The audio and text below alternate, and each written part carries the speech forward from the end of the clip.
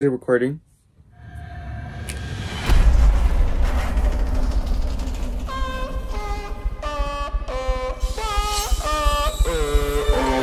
Systemic sexualization of women is the production system objectifying women for economic profits.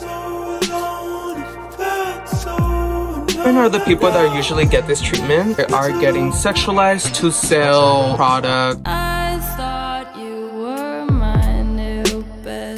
There's a lot of over sexualization on TikTok. Who knew you were just out to get me?